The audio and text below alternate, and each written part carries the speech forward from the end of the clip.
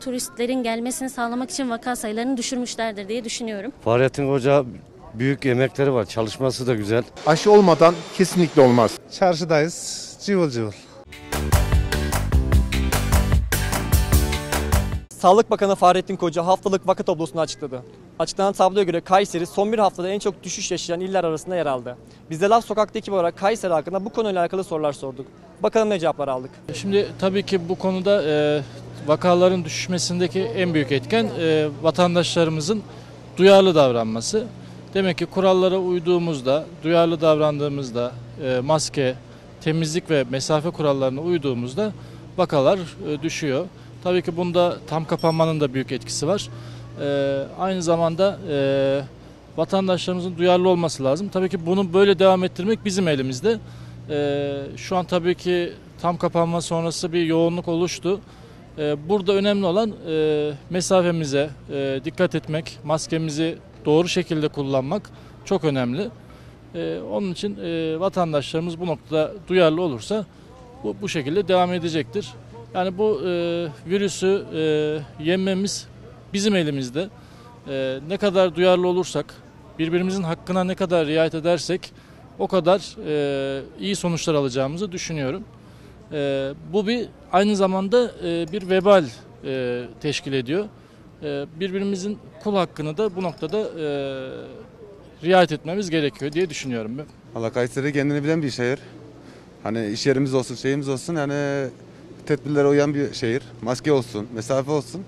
Yani ben sağlık açısından dü- düzgün bir şehir olaraktan görüyorum şu anda. Peki bazı vatandaşlar e, bu sayılara inanmıyorlar. Bu konu hakkında ne düşünüyorsunuz? İlk başta ben de inanmıyordum. Ama sonradan sonra yani insan e, kendini alıştırıyor hadi öyle diyeyim hadi. Başka bir şey diyemeyeceğim. Yapılanları doğru buluyoruz. Yani yasaklara uymamız gerekiyor. Yani herkes uyarsa daha iyi olacağımızı düşünüyoruz. Peki sizce bu düşüş daha da düşürülebilir mi? Yani yasaklara uyulursa düşülebilir. Vatandaşlar uyuyor mu sizce? Ya bir kısmı uyuyor, bir kısmı uymuyor. Yani çalışanlar olarak biz gidiyoruz, geri kalanların evde olması lazım. Uyarsak daha iyi olacağımızı düşünüyorum. Turist çekmek içindir. Kayseri bu konuda gözde bir yer olduğu için özellikle Erciyes e, kayak merkezi var biliyorsunuz. Ondan dolayı turistlerin gelmesini sağlamak için vaka sayılarını düşürmüşlerdir diye düşünüyorum. Ama bana sorarsanız birçok daha yani pozitif olup da bunu farkında olmayan bir sürü insan var. O yüzden vakaların düştüğüne kimse inanmasın diyorum. Ya bu kadar soru. Peki sizce vakaları düşürmek için ne yapabiliriz? Ya bence insanları bu konuda bilinçlendirmek daha mantıklı. Çünkü şu an mesela benim çevremde bile hastanede olup bir sürü sıkıntı yaşayan, işte solunum sisteminde falan problem olan insanlar var. Yani bunun bilincini insanlara aşılasalar zaten onlar kendilerini izole ederler diye düşünüyorum. Sağlık Bakanı'na güveniyor. Açıklaması doğrudur. Ee, Fahrettin Hoca büyük emekleri var. Çalışması da güzel. Doğru söylüyor. Biraz da halkımız bilinçli olursa bu e, kötü günleri atlatacağımıza inanıyorum. Hep birlikte el ele verip bu kötü günleri atlatacağımıza inanıyorum. Düş, ya tedbirleri aldığımız takdirde muhakkak oluyor. Ama ilk önce aşı önceliğimiz. Aşı olmadan kesinlikle olmaz. Yani aşı yani %90'ımızın %95'in aşılanması gerekir. Aşılandığı takdirde e, daha iyi olacağını sanıyorum. Dikkat ederseniz 17 gün bir kapanma yapıldı. Daha sonra 17 günün 18. gününde çarşı pazar cıvıl cıvıl ama yani mecburen niye? Adam 17 günün ihtiyacını karşılayamamış. Ee, o yüzden ilk önceliğimiz aşılama. Muhakkak e, tedbirler al- almak gerekiyor. Almaya çalışıyoruz. Hijyene, mesafe, maske ama öncelikli aşı.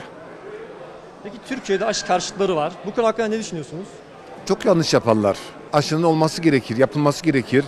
Sabah da gereken televizyona baktım. 65 yaş üstünün aşılanmadığını yani televizyonda öyle yazıyordu.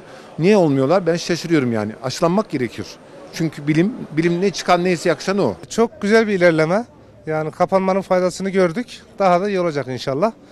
Biraz daha dikkat edersek bu şekilde maskeyle daha iyi olur diye düşünüyorum. Peki tam kapanma sonrası sizce vatandaşlar e, tedbirlere uyuyorlar mı? Çok da uyulduğu söylenemez.